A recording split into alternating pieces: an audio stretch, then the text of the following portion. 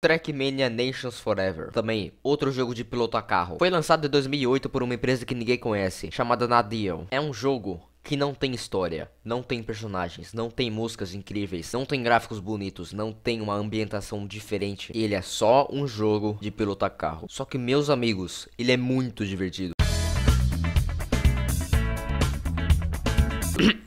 Nesse jogo a gente tem dois modos, o modo offline e o modo online. Eu já vou falar mais tarde sobre o modo online, mas começando do começo. Você pode jogar no modo offline, onde você já tem umas 60 pistas que você pode jogar. E daí você aposta corrida contra o computador nessas pistas e tal. E também tem um sistema de dificuldade, que nesse jogo são medalhas que você ganha. São quatro medalhas, só variando a velocidade que você precisa ter para você conseguir ganhar elas. A medalha de bronze é fácil de você conseguir, a medalha de prata é mais ou menos, a medalha de ouro é bem difícil e a medalha do autor, que é tipo tipo, não. Você não vai conseguir ganhar essa medalha. Se você estiver procurando alguma coisa para você fazer, baixe esse jogo e tenta zerar ele no modo offline, conseguindo todas as medalhas. Você vai ficar ocupado por mais ou menos um ano e meio, porque eu te prometo, é bem difícil. E tirando o modo offline, a gente também tem o modo online. E é aqui que a diversão começa. Bom, bom, bom, bom. O modo online é praticamente o diferencial desse jogo, porque você pode editar uma pista e depois postar ela. Isso é basicamente os desenvolvedores do jogo abrindo um restaurante falando: a cozinha tá aberta faz o que você quiser. Aquele vídeo que eu postei, em que eu fiz umas pistas de corrida com meu amigo, é basicamente a ponta do iceberg. Vocês acharam que a minha pista era longa? Que tal isso aqui? Uma pista que demora 10 minutos para ser completa.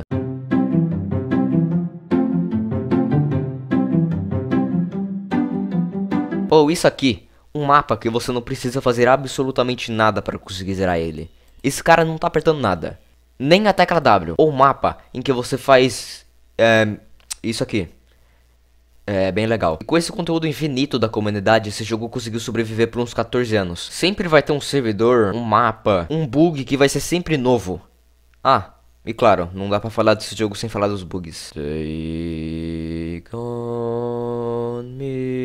O primeiro bug é você poder frear no meio do ar. Só que nesse caso ele não desacelera seu carro, ele só para a rotação. Mas Dramilos, como que parar a rotação do seu carro no meio do ar é importante? Suponhamos que você esteja caindo de algum lugar muito alto. Se você não fizer essa técnica, o seu carro ele vai cair de bico e você vai perder muita velocidade. Se você fizer essa técnica, ele vai cair muito mais plano e você vai conseguir preservar muito mais velocidade. Isso é praticamente o fundamento mais básico desse jogo. Outro bug, se você cair de algum lugar no ângulo de 90 graus com o chão, você vai fazer um drift muito mais poderoso e rápido. E as pessoas chamam isso de bug slide. Outro bug, se você fizer um bug slide com a frente do seu carro virada para o chão e tentar passar por cima de uma das bordas da pista, o seu carro vai sair voando. Isso acontece porque quando você encosta nessas bordas da pista, é suposto o seu carro perder velocidade. Mas se você fizer essa técnica extremamente precisa, o jogo faz um erro de cálculo e o seu carro ganha velocidade ao invés de perder, fazendo com que você saia voando. E o nome disso é Uber Bug. Mais um bug, se você cair perfeitamente de bico com o seu carro, você pode fazer vários drifts em sequência, fazendo com que você ganhe velocidade. Ok, ok, chega, chega.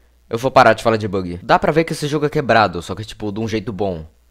Muito bom. Eu poderia passar o dia inteiro falando sobre como foi batido o recorde mundial desse negócio por 0.001 segundos, porque ele usou uma tática nova, quebrado o jogo. Só que isso daqui é um vídeo de review, e não um TCC pra faculdade. Mas claro, se vocês quiserem, eu também posso fazer um vídeo sobre isso. É um vídeo de review, é pra eu fazer uma review. Deixa aí nos comentários se vocês quiserem. Não é para eu explicar como é que funciona. Sério, por favor, deixa eu quero muito falar sobre isso. a nota desse jogo é 9 de 10. Por que, Dramelo? Você não falou que era bom? Sim, ele é muito bom. Só que já faz uns 14 anos que ele não recebe um update. Nadio, por favor, né? Ah, e também, uma boa tarde.